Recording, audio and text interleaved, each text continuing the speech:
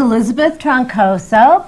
She's a fan of the show, and she decided to get some advice in person on a new plant that she just bought. So, how are you today, Elizabeth? Fine, thank you, Liz. Glad to be here. Well, it's nice to have you here. Thank you. So, you just got this new palm. Yes, I uh, watch your show all the time, and I love to be educated and, and entertained at the same time. And I thought now that I have this new palm, I would bring it in so I could get some good, helpful hints from you. Oh, well, great. Well, Thank I'd be you. glad to give you some helpful hints. I like to see plants grow. Thank you. Now, do you know what you have here? I know it's Italian from the name, but I, I don't know much, much more than that. Okay, it's called the Phoenix roebelenii, also known as a pygmy date palm. And, you know, it can live for years and years if you take good care of it in your home. Wonderful.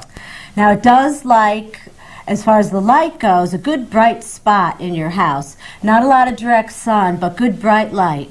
So, do you have a place like that for it? I have a western exposure for my plants, and uh, I'm glad you're telling me because I didn't know whether uh, the sun was going to be too bright in that window or not. Well, full afternoon sun directly on it would be a little bit too much. So, if you keep it a few feet away from there, it should do really well. Great. I have a lot of plants that will be glad to have another friend next to them. Thank you. Now, I'm noticing here that you that some of the roots are exposed. Can you see that? Yes, I can. So what I'm going to advise you to do is to add a little bit of extra potting soil. There's some large roots here that you can see, as well as some little hair roots. And I think the plant would be a little better off if it had just a little more potting soil. And you want to pot it to just about here, right where those roots end. Is this part of the roots right here, these big bulbs that are coming out? No, now this is actually its trunk. So that you don't want to cover up. You'll smother the plant if oh, you do okay. that. Okay. So just cover up these roots that are showing. And also, when you water it, all you have to do, it's really simple, is just feel the top of the soil. Just feel in a few places, and it should be quite dry. Right now, it's pretty moist, so you probably won't have to worry about it for a week or so. Good.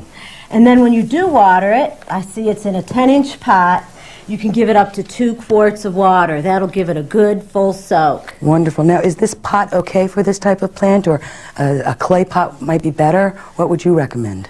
Um, this pot's absolutely fine for it. It's not an especially attractive pot. That's correct. you want to cover it up with a basket or another kind of decorative container. Okay. If you do like terracotta or clay, Mm-hmm. it could be potted directly into that, and that would be fine too. It's really a personal preference.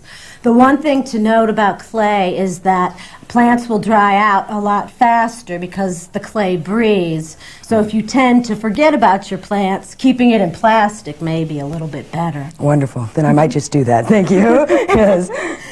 Now you also want to mist it occasionally. They do like a little extra um, humidity. It's not absolutely crucial, but it's a really nice thing to do for the plant. Great. That's we all like a little spray now and then, so that would be nice. Thank you.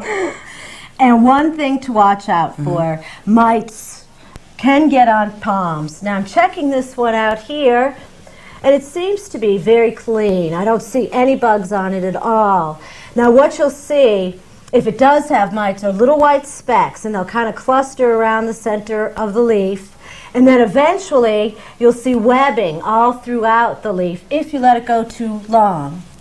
Okay. Now, if uh, that happens, how would I treat the mites?